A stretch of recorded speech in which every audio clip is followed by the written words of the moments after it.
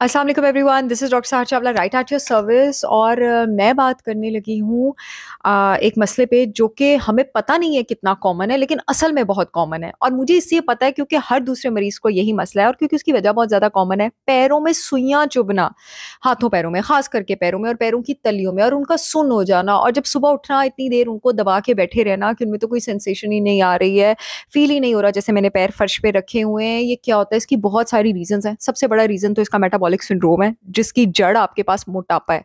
अगर आप मोटे हैं, इसका मतलब है अगर आपका बीएमआई आपका डिस्टर्ब्ड है, वो 25 से ऊपर है, खास करके वो 30 से ऊपर है, ठीक है? तो आपकी बॉडी में कंफर्म ब्लड शुगर स्टेबलाइजेशन नहीं है, आपके ब्लड शुगर लेवल स्टेबल नहीं रहते हैं। जिस इंसान के ब्लड शुगर लेवल स्टेबल नहीं रहते हैं, उसका शुगर शुगर का फेवरेट टारगेट नर्वस सिस्टम होता है। डायबिटीज़ का भी है, मैं अक्सर अपनी वीडियोस में कहती हूँ, वो जाके नर्व्स पे अटैक करता है करता है करता है और सेंट्रल नर्वस सिस्टम पे भी अटैक करता है पैर पे भी करता है, हाथों पैर में नर्व्स को डैमेज कर देता है, सेंसेशन आना खत्म।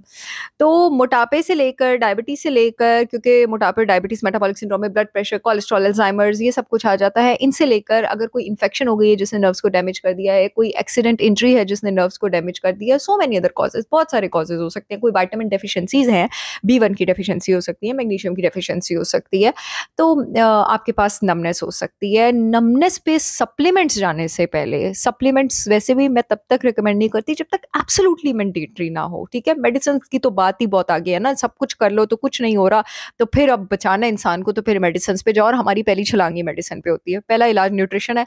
न्यूट्रिशन से भी पहला इलाज पता है क्या है? प्रिवेंशन यानी ज़िंदगी से डोंट्स को निकालना, वो चीज़ें जो आपको नहीं करनी चाहिए।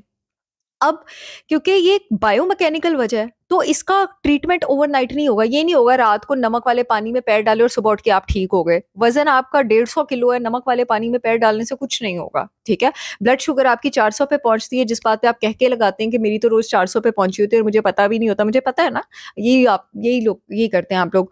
तो कुछ नहीं होगा हंसे। उससे अच्छा कि मेरे जैसा चूसने वाला मुँह रख लें, लेकिन ब्लड शुगर जो है वो आपकी कम अज कम स्टेबलाइज हो और दौड़ते फिरें और दिन में पूरा दिन चालीस चालीस, पचास पचास मरीजें करें। फ़ीस अभी वीडियोज़ भी बनाए, लेकिन मुँह चूसने जैसा हो वो ज़्यादा फ़ायदेमंद है, ठीक है? अच्छा so the point is that अपना वज़न कम करेंगे सप्लीमेंट्स पे जाने से पहले तो ये मसला खुद ही सॉल्व हो जाएगा। द प्रॉब्लम इज़ दैट कि आप इंटरमीडियंट फास्टिंग शुरू करेंगे, अपने इंसुलिन लेवल्स को कंट्रोल करेंगे तो ये जो प्रॉब्लम है, वो आपका खुद ही सॉल्व हो जाएगा। सो द क्योर इज़ कि आप अपनी बॉडी में वाइटामिन डेफिशिएंसीज को पूरा करेंगे बी विटामिन की कमी को पूरा करेंगे तो ये मसला खुद ही ठीक हो जाएगा। बी वन डेफिशिएंसी हम सिर्फ़ बी वन लेने से पूरी नहीं करते हैं। जब हम शुगर लेना छोड़ते हैं रिफाइंड काप्स लेना छोड़ते हैं कार्बोहाइड्रेट्स लेना छोड़ते हैं तो हमारे जिसम से बी वन की कमी पूरी होना खुद ही शुरू हो जाती है क्योंकि कार्बोहाइड्रेट को मेटाबलाइज करने के लिए इस्तेमाल करने के लिए बी वन वाइटामिन जो है वो आ, बहुत तेज़ी से यूज़ होता है। तो जब वो बहुत तेज़ी से यूज़ होता है आप चाहे बाहर से जितना भी ले रहे हो वो इस्तेमाल हो जाता है। ठीक है? और आप रिफाइंड कार्ब लेने से बाद नहीं आते, अब आप बाहर से जो बी वन वाइटामिन लेंगे, वो भी यूज़ होगा, और शुगर लेने से बी वन जिसम से भी ज़्यादा फ्लश आउट होता है। तो सबसे इंपॉर्टेंट काम ब्लड प्रेशर कोलेस्ट्रॉल के मरीजों के लिए डायबिटिक्स के लिए, मोटे लोगों के लिए, जिनके पैर सुन होते हैं मोटापा बीमारी है, इसको तमगा समझ के ना फिरा करें, ठीक है? सो अपनी गलती की वजह से जो लोग मोटे उनकी बात नहीं करें जिनको हार्मोनल डिस्टर्बेंसेज है, उनका उस पर बस नहीं चल रहा। है तो आपके पैर सुन होना खुद ही खुद ही खत्म हो जाएँगे। और दो तीन चीज़ें आपको ऐसी बताऊँगी जो लोगों को इतना नहीं पता। लोग हमेशा बी वन वाइटामिन पे बात करते हैं अल्फ़ा लिपोइक एसिड अगर बहुत ज़रूरी हो तो आप इसका सप्लीमेंट ले सकते हैं, अपने डॉक्टर से पूछ के 600 मिलीग्राम से 1200 मिलीग्राम के बीच ये बॉडी में कार्बोहाइड्रेट्स को मेटाबलाइज करने में हेल्प करता है ब्लड शुगर लेवल जब स्टेबलाइज होते हैं नमनेस कम होती है। दूसरी चीज़ आपके पास ग्लूटामिन ग्लूटामिन मोस्टली मैं गट के और डाइजेस्टिव डिसऑर्डर्स के लिए कहती हूँ। ग्लूटामिन आपके जो गट के सेल्स हैं डाइजेस्टिव ट्रैक्ट के सेल्स हैं, उनको फ्यूल प्रोवाइड करते हैं और अपना फ़ंक्शन बेटर प्रोवाइड करते हैं। और क्योंकि ग्लूटामिन जिस समय अमाइनो एसिड्स बनाने में काम आते हैं सी वूंड हीलिंग में भी इसका बहुत फ़ायदा होता है जिन लोगों को मसल वीकनेस होती है, उनको भी रिकमेंड किया जाता है।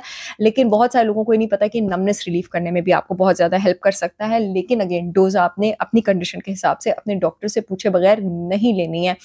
मैग्नीशियम आपके पास क्रैम्प्स रिलीफ करने में भी मदद करता है नमनेस में भी हेल्प कर सकता है और मैग्नीशियम का बाहर से भी सोर्स लें। एप्सम सॉल्ट बाथ्स लें मैग्नीशियम सल्फेट के बाथ्स लें, एक टब एक कप आप एप्सम सॉल्ट का लें, उसको आप पूरे टब पानी में डालें, पंद्रह से बीस मिनट उसको सोक होने दें और उसमें अपने पैर रखें।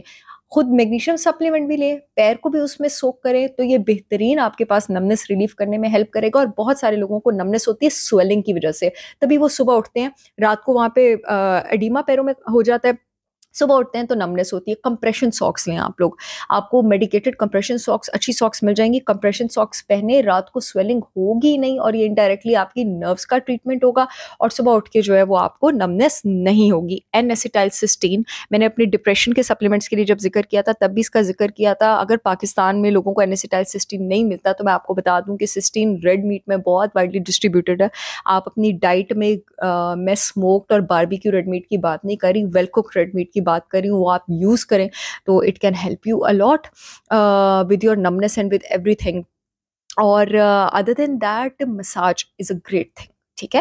बिकॉज़ आपकी लिम्फेटिक्स की जब फ्लो अच्छी होगी, उसकी सर्कुलेशन अच्छी होगी डेली बेसिस पे करें वज़न कम करने के साथ साथ ठीक है?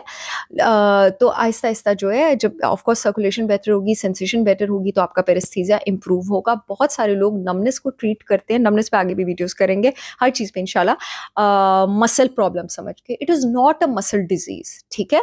क्योंकि नर्व्स मसल को मैसेज नहीं पहुँचा पा रही होती तो आप उसको मसल डिज़ीज़ समझना शुरू कर देते हैं।